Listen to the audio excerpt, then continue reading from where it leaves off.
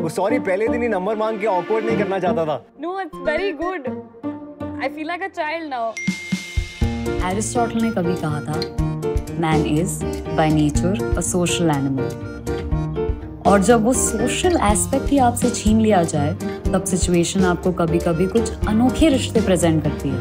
absolutely in strange veg